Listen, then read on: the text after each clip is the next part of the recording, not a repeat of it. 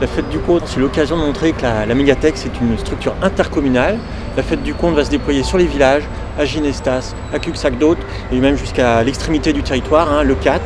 À travers la fête du conte, on joue pleinement notre rôle euh, intercommunal. Le conte ne s'adresse pas qu'aux enfants, bien sûr il y a des contes pour les enfants, mais c'est aussi pour les adultes, leur donner la possibilité de penser qu'eux aussi peuvent transmettre à leur tour. Il était une fois dans forêt profonde, très profonde, une petite fille. Elle s'appelait Macha. Et voilà notre Macha qui est partie. Elle est partie dans la forêt profonde.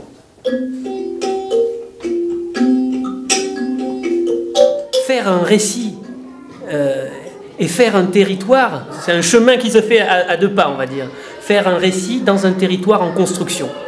Et peut-être le conte peut participer à, construire ce récit en lien à la fois avec l'identité, à la fois avec le passé de ces contes transmis, euh, dont je ne suis pas propriétaire finalement, et euh, cette, euh, cette identité collective à construire dans l'avenir également.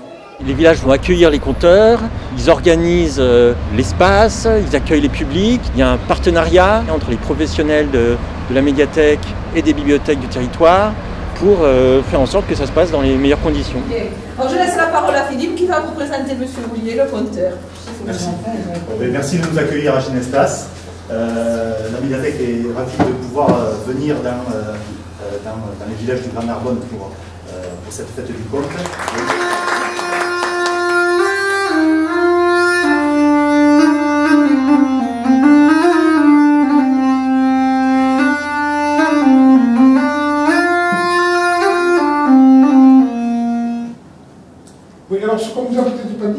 c'était participatif cette après-midi.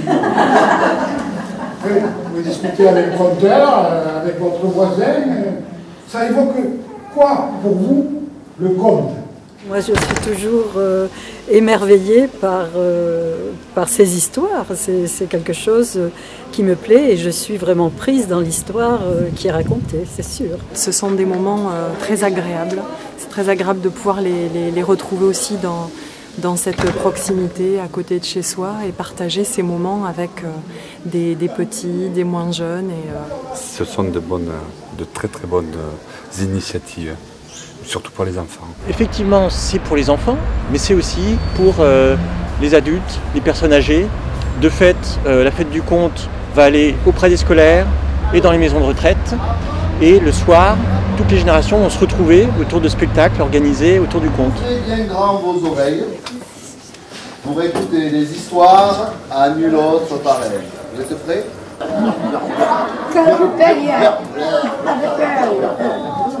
Quand on arrive de l'autre côté de la mare, on enlève toute la boue qu'on a sur soi, on se lave avec la douche. Voilà, on se voilà, c'est le rôle euh, d'une bibliothèque ou d'une médiathèque que de transmettre euh, à travers des séances de contes des histoires euh, et, qui font partie d'un patrimoine universel. Méfie-toi, tu finiras. Oui, voilà. voilà. Nous faisons un stage de formation pour euh, une quinzaine de personnes en compagnie de Kamel Genoun, puisque tout le monde finalement peut, euh, à défaut d'avoir un don, de cultiver un intérêt, une passion pour euh, l'oralité, pour le conte. J'attends le moment du premier rendez-vous que tu me donneras chez toi, chez moi ou sur une terrasse. On peut mélanger les publics? Oui, oui, oui, oui, bien sûr. C'est ça des, une des simplicités, de, c'est l'intergénérationnel, c'est oui, c'est la rencontre, parce que le conte peut être entendu qu'on ait 5 euh, ans ou 77 ans.